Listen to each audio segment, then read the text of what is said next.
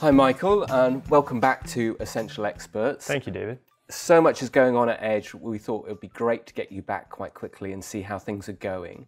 So, uh, when we were here a little while ago, there was a lot of integration activity going on. How's that going?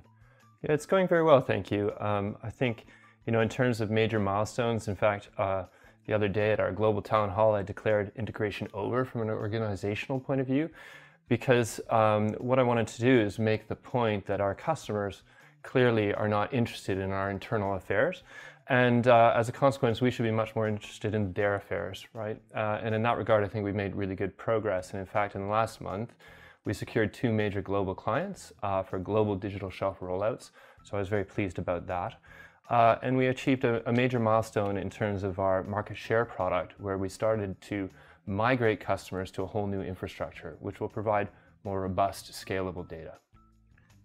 A lot is moving clearly really quickly. What are your, your next objectives from here?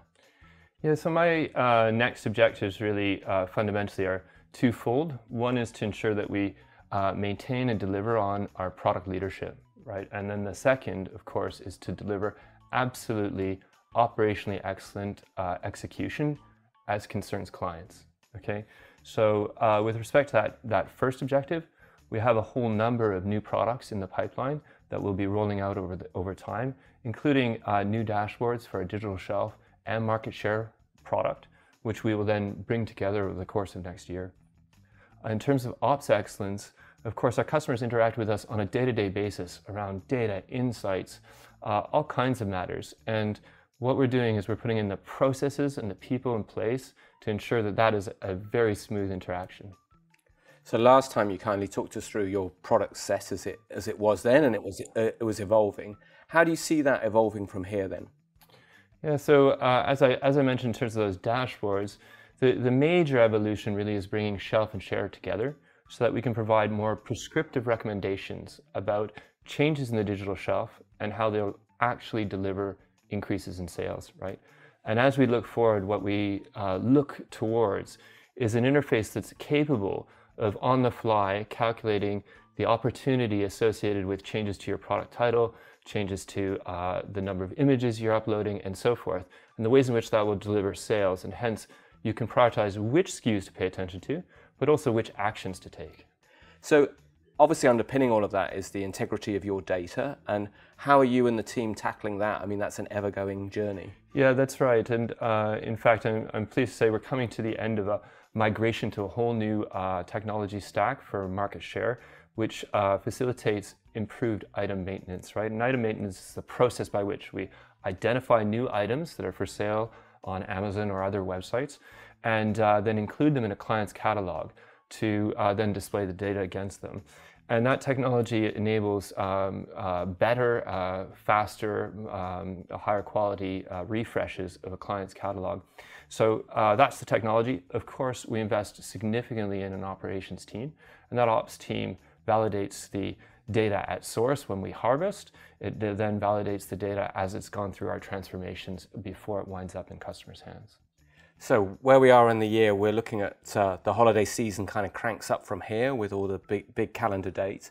How are you preparing, uh, helping your customers really smash it out of the park during this time? Yeah, indeed, uh, uh that's right. So in the run up to uh, Christmas, we have a number of major shopping events. And of course, in general, it's a high uh, shopping period. And, and what we're doing is we're providing all kinds of, at a strategic level, all kinds of insights reports on our Retail Insights uh, platform, along with webinars to prepare uh, our clients for the holiday season. With respect to pricing and promotions, we're looking at Christmas baskets and the way that they evolved over time to help our customers anticipate price changes.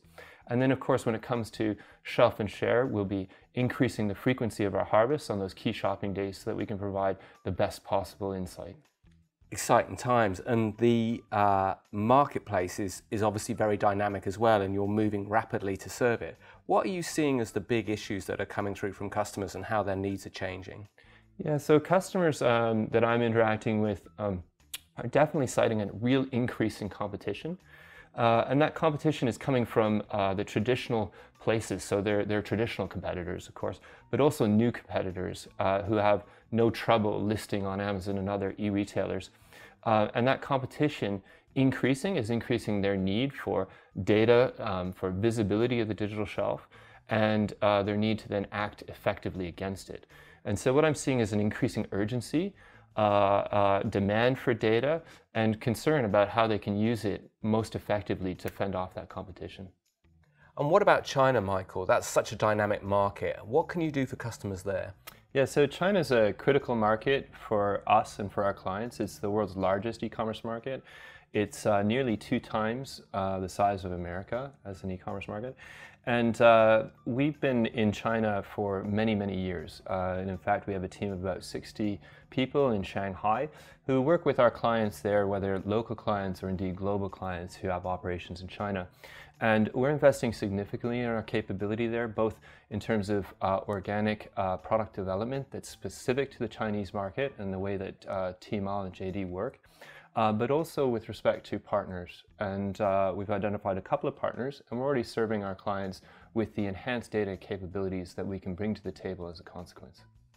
And if I may ask, how does that then influence what you're doing uh, in, in, the, in the Western markets, what's happening in China? Yeah, well, indeed. So let me give you a really specific example. So uh, in China, ratings uh, and reviews are a really interesting uh, aspect of the digital shelf because in China, typically people rate everything five star. But in the review, they tell the truth, right? And that's partly because of review programs that pay consumers. Um, and so it's really important to do proper, deep semantic analysis on those reviews to reveal the ways in which consumers are really reacting to your product and that might lead you to change um, the way in which the product is presented, or indeed the product itself. Uh, and so, working with a partner, we're developing deeper and deeper semantic analysis, which we will provide obviously in China, but then around the world as well.